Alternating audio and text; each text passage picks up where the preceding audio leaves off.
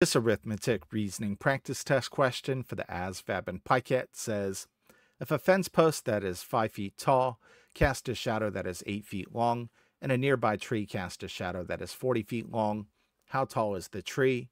So in order to answer a question like this, you have to use what's called a proportion.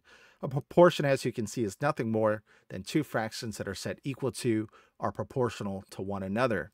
On the left-hand side of the equal sign, I'm going to fill the proportion in with information I know, notably a five-foot tall fence post cast a shadow that is eight feet long. So as you can see, I have the height of the object in the numerator over the length of the object shadow in the denominator.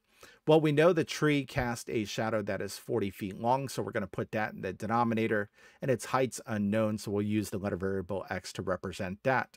You saw proportions via cross multiplication, so this becomes 8x equals 5 times 40.